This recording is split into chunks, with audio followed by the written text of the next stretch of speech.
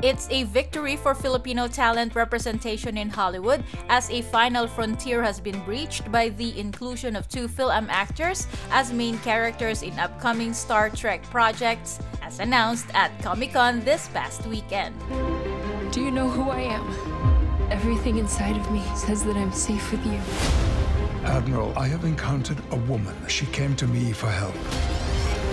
If she is who I think she is,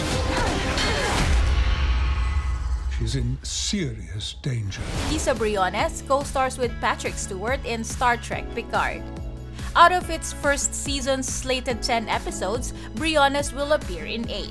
The official trailer previews the important role that the young actress plays. She has no idea what she truly is.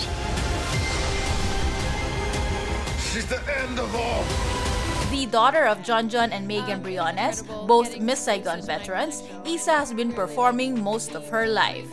Meanwhile, another Filipino-American talent was announced at Comic-Con as a cast member of another show, Star Trek Lower Decks, a half-hour animated series. Eugene Cordero voices one of the main characters described as an engineer with a new cyborg implant that he's unsure how to operate.